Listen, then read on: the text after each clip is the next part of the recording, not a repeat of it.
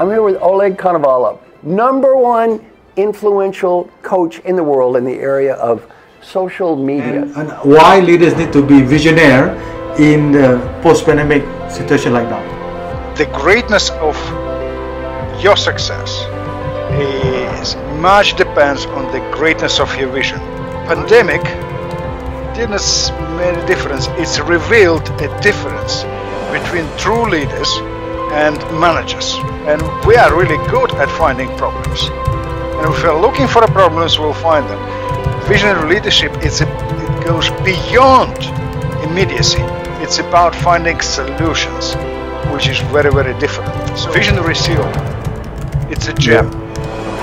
It's a gem for for people, for himself. COVID helped us to re, to realize this that we can't use old tools and practices to create the future. No one hmm. could build something on empty promises.